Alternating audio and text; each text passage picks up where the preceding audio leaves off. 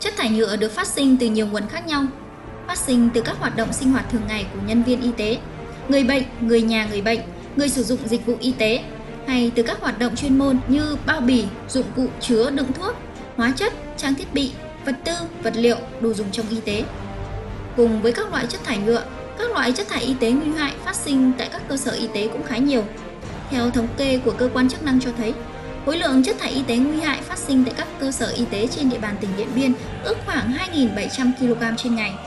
Được biết, tất cả các loại chất thải y tế, nhất là các loại chất thải rắn, nguy hại, nếu không được phân loại, thu gom, quản lý và xử lý tốt sẽ dẫn đến ô nhiễm môi trường, đất, nước, không khí và ảnh hưởng trực tiếp đến sức khỏe của con người. Kính chào quý khán giả của chuyên mục Nói không với rác thải nhựa.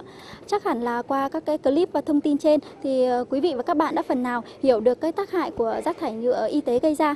À, rác thải y tế hiện nay đang được ờ, xếp vào nhóm các cái loại rác thải nguy hại và nếu như không được thu gom và xử lý theo đúng quy trình thì nó sẽ gây ô nhiễm môi trường và ảnh hưởng nghiêm trọng đến sức khỏe của người dân.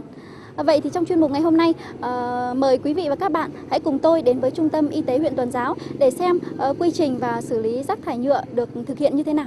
Uh, thưa quý vị và các bạn, đây là một phòng khám thuộc uh, Trung tâm Y tế huyện Tuần Giáo. Vậy thì không biết là công tác thu gom và xử lý rác thải y tế ngay tại các phòng khám này được thực hiện như thế nào? Thì tôi và các bạn cùng đi tìm hiểu nhé.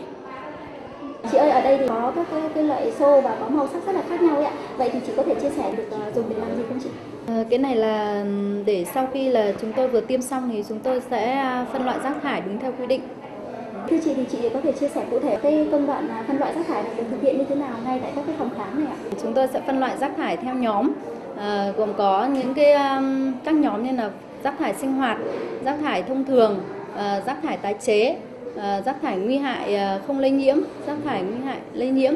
Ví dụ như là cái ờ, ống nước cất chẳng hạn nên cái này là vỏ nước cất nhá, là nó bằng nhựa thì chúng tôi sẽ phân loại là rác thải tái chế là cho vào thùng màu trắng. Với lại các loại như là vỏ bao tiêm, những cái lọ thuốc thủy tinh thì chúng tôi sẽ cho vào thùng rác thải thông thường là túi xô màu xanh. Sau khi thực hiện xong các công đoạn phân loại, các loại rác thải y tế sẽ được đưa đến nơi lưu trữ chất thải của trung tâm để xử lý. Với những loại chất thải nhựa có thể tái chế, được trung tâm thu gom lại một khu vực để bán cho các cơ sở thu mua phế liệu trên địa bàn. Còn các loại rác thải nguy hiểm được tập kết lưu trữ trong phòng lạnh để tránh sự phân hủy. Thưa quý vị và các bạn, hiện tại tôi đang có mặt tại lò hấp rác của Trung tâm Y tế huyện ờ, Tuần Giáo. Và cứ sau 2 ngày thì lượng rác thải sẽ được ờ, chuyển xuống đây để hấp một lần.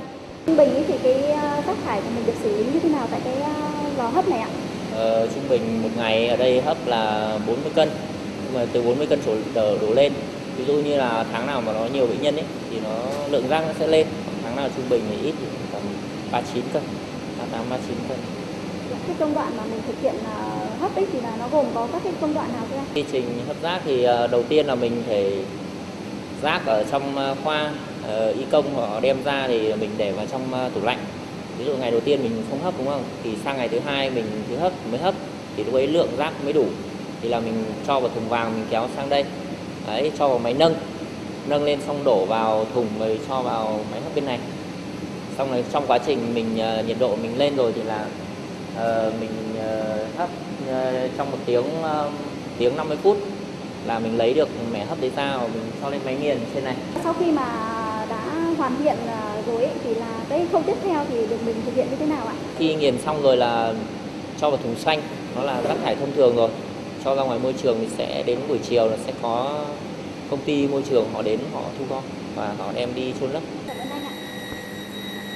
À, thưa quý vị và các bạn, à, Trung tâm Y tế huyện Tuần Giáo à, là một trong những cơ sở y tế mà có đông bệnh nhân đến khám và điều trị hàng ngày. Vì vậy cái lượng rác thải thải ra cũng tương đối lớn.